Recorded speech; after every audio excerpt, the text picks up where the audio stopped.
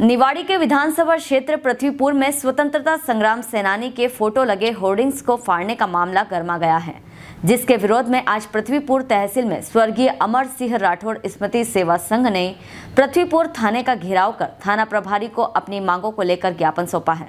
और होर्डिंग फाड़ने वालों के खिलाफ देशद्रोही का मुकदमा दर्ज कराने की मांग की है। दरअसल पृथ्वीपुर तहसील में 18, 19 और 20 जनवरी को बयालीसवा वॉलीबॉल टूर्नामेंट का आयोजन किया जा रहा है।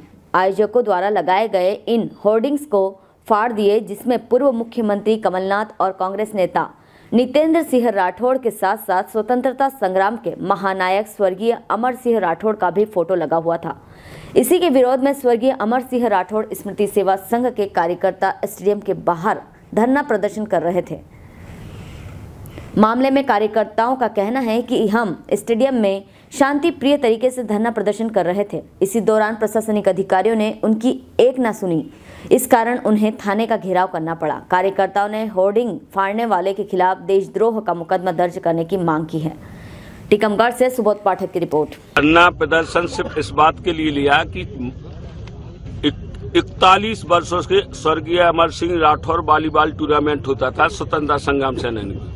और इस आयोजन कोई पार्टी नहीं करती थी, इस समिति करती थी, किसी राजनीतिक दल का नहीं होता था। जब आज टूर्नामेंट समिति के लोगों के द्वारा बताया गया कि पोस्टर फाड़े गए और टूर्नामेंट समिति वहाँ अनशन पोस्टर में ग्राउंड में बैठी, तब मुझे सूचना मिली, तब मैं वहाँ पहुँचा और वहाँ पहुँचने पर मैंने स्वयं देखा कि स्वतंत्रता संग्राम सेनानियों के पोस्टर फाड़े गए।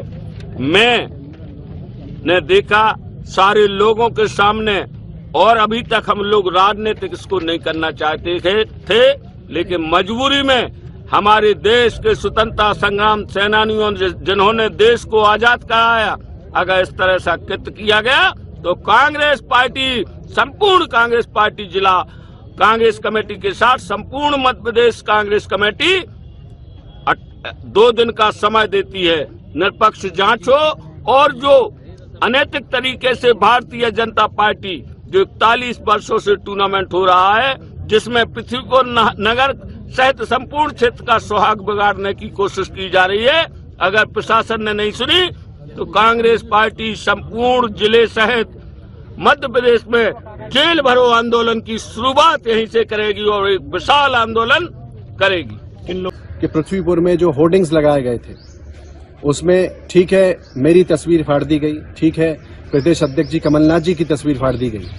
लेकिन स्वतंत्रता संग्राम सेनानी जिनकी तस्वीरें लगी हुई थी, जिनकी वजह से चाहे वो कांग्रेस हो, चाहे भाजपा हो, तमाम लोग इस स्वतंत्र जीवन जी रहे हैं और खुली सांस लेके अपना जीवन व्यतीत कर रहे हैं। ऐसे लोगों की भी तस्वीरें फाड़ दी गई। ये बेहद निंदनीय है और मेरा प्रशासन से अनुरोध है कि ऐसे लोगों पे सख्त से सख्त कार्रवाई हो, इसकी जाँच हो, सख्त कार्रवाई हो और आगे ऐसी जो घटनाएँ हैं, वो घटित ना हो, इस पर रोक लगाई जाए।